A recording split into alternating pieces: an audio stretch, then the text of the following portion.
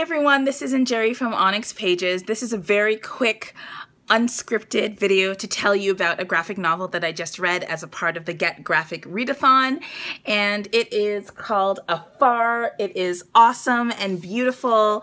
The uh, this is written by Leila Del Duca and Kit, Kit, Kit Seaton and edited by Taneka Stotts. It tells the story of a young woman and her brother. They are abandoned by their parents who have decided to become salt shepherds for a couple of months uh, and they leave their children to fend for themselves.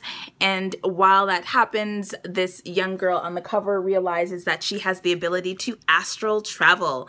And this story tells us about what happens when she figures that out out and what she has to do with reckon to reckon with her new magical abilities.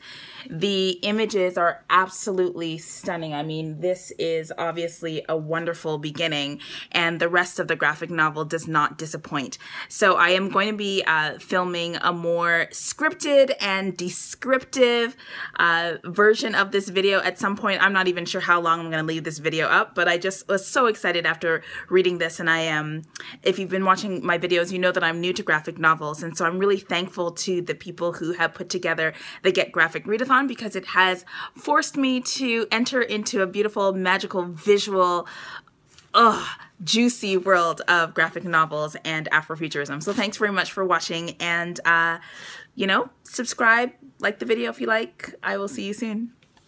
It's so pretty. Bye.